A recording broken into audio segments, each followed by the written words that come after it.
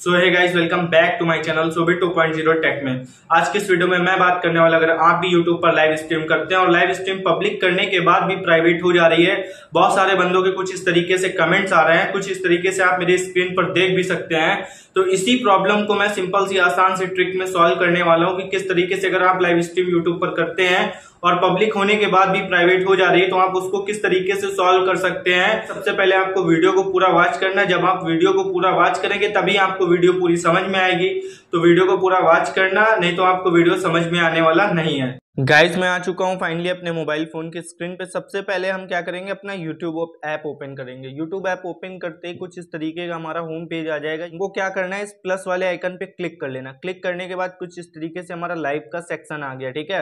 अगर आप vertical mode में करना चाहते हो तो इसको वर्टिकल रहने देना। ओरिएशन ठीक है? और अगर हॉरिजेंटल में करना चाहते हो तो इसको ऐसे करके आप हॉरिजेंटल कर सकते हो। बहरहाल के लिए मैं वर्टिकल करता हूँ। वर्टिकल करने के बाद आप यहाँ पे पेंसिल के आइकन पे क्लिक कर लेना, कुछ इस तरीके का इंटरफेस आ जाएगा। लाइव, प्राइवेट और पब्लिक करने के बाद प्राइवेट हो जाती है। सारा का सारा प्रॉब्लम यहीं से होता है, ठीक है?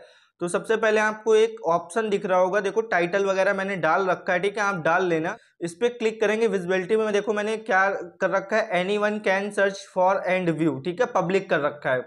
तो इसको यहाँ से बहुत सारे लोगों को इसमें अनलिस्ट रहता है, ठीक है? तो इसको ध्यान देना है इसको आपको क्या करना है? पब्लिक कर देना है, ठीक है? तो यहाँ से जब आप लाइव स्ट्रीम यूट्यूब पे करोगे तो आपका हमेशा पब्लिक रहेगा और आपकी जो है लाइव स्ट्रीम पब्लिक होने के बाद प्राइवेट नहीं होती। अगर आपकी लाइव स्ट्रीम पब्लिक होने के बाद प्राइवेट हो जाती तो आपको क्या करना है, ठीक है?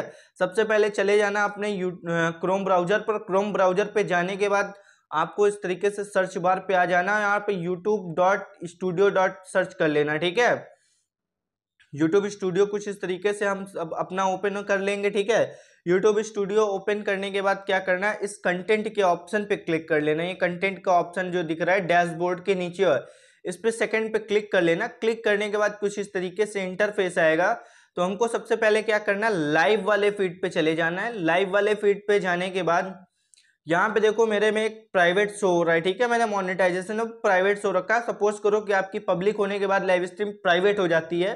तो सबसे पहले इस पे क्लिक करेंगे प्राइवेट पे, ठीक है? प्राइवेट पे क्लिक करने के बाद यहाँ पे पब्लिक का ऑप्शन आ रहा है, ठीक है? ऐसे ऐसे हमको पब्लिक पे क्लिक करना है, क्लिक करने के बाद इसको पब्लिश कर देना है, ठीक है?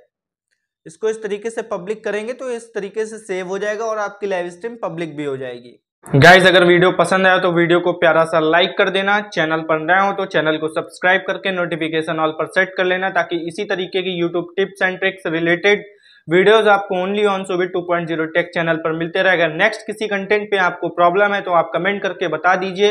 एक से दो दिन के अंदर उस टॉपिक पर भी वीडियोस आपको मिल जाएगी। बाकी तब तक के लिए guys bye bye take care